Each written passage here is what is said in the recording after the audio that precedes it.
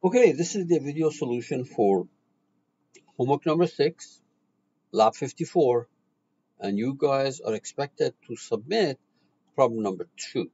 And problem number two is pretty much the same thing as problem number one, which I have done, by the way, as a video for uh, uh, lab 53, if you want to see that. The only difference is that uh, uh this is to be modeled with shell uh, uh, with solid element, not shell element. So we have a folded sheet metal like that. The dimensions are given. This is your problem. Okay, your problem is here. Dimensions are given up there. This thickness is one inch made out of steel. This end is clamped, and you're subjecting it to compressive force, and, and you want to know what the buckling loads are.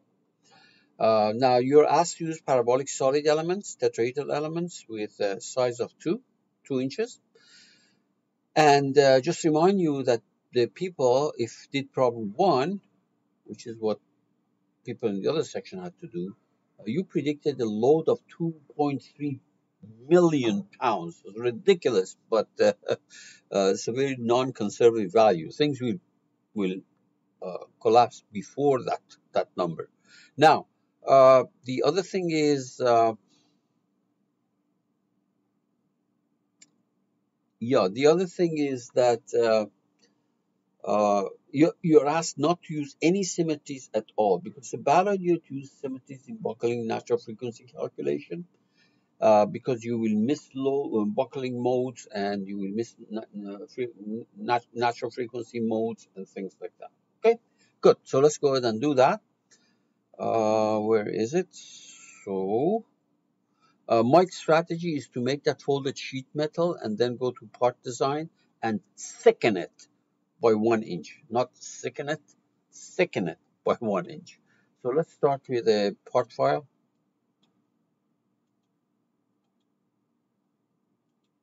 Immediately we're going to save it, file, save management, save as, uh, desktop, uh, what is that, new folder, this is going to be lab 54, problem 2.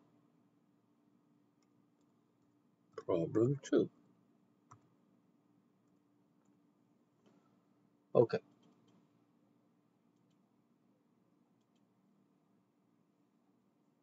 So on that plane, I will sketch 3 inch by 3 inch C shape type thing, like that, like this, like so.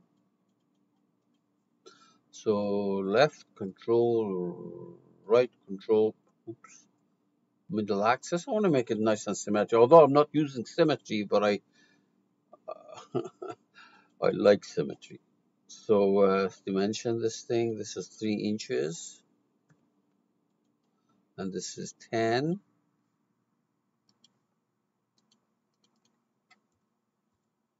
Good, exit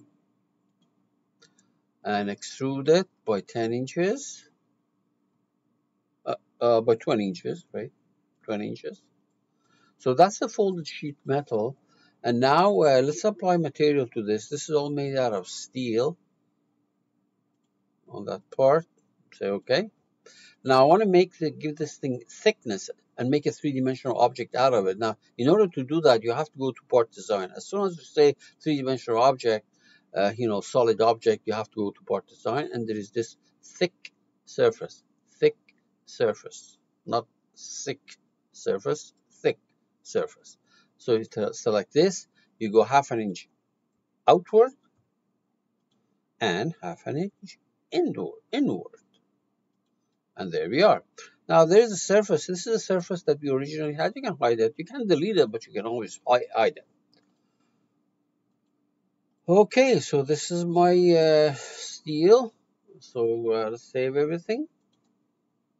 Immediately we're going to go to generative shape design. CATIA will mesh this thing for you, but I'm asked to use parabolic, yes, and two inches, two inch thickness going to be a terrible mesh. Uh, right click mesh visualization. Terrible mesh. Deactivate. All right, you're told that this end is clamped, so that face is clamped. Uh, now I suppose uh, you're gonna have to do all three of these, okay? The way it is set up, because because I did a thickening thingy, and then you apply a dummy load of one pound to, to these faces. Let me hide this sketch.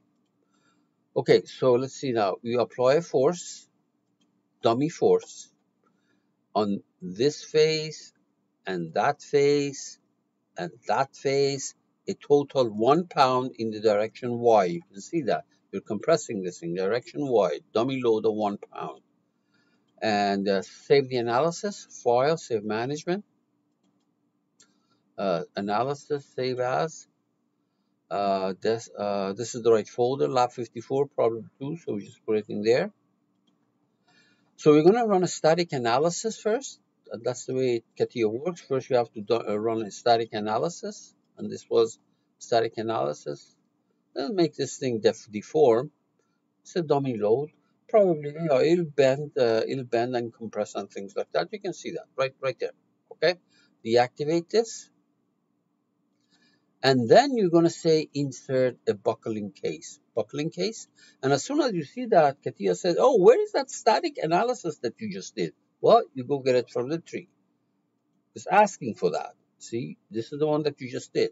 It's asking for this. You select it, you say okay, and that's it. You just run it. And it will give you the buckling loads or buckling factors and the modes. Okay. So if you if you click on this, it'll give you the first buckling load mode, mode, and the factor, if you double click on it, it says uh, 2 points, almost 2.4. The other one was 2.3. So take your one pound, multiply it by that. That's going to give you the, the buckling load. Now, this is a non-conservative value. In other words, the real life situation is going to buckle before that, well below before that. And part of the reason is that this stuff that we're doing, we're doing linear buckling analysis, it assumes material does not yield. If you ever put a load like that, material already yields, it will not buckle. And if yields, then obviously all bets are off. But it gives you non-conservative value. And then you get some other modes of uh, uh, some other modes of buckling. For example, these side plates buckle and things like that.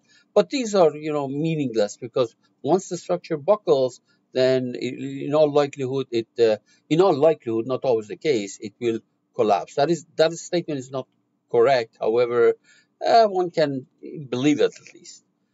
All right, this is it. So if you want to see how it's done with shell elements, go and watch the video for lab 53, please. Thank you. Have a good vacation. Remember, we are having a midterm on July 3rd.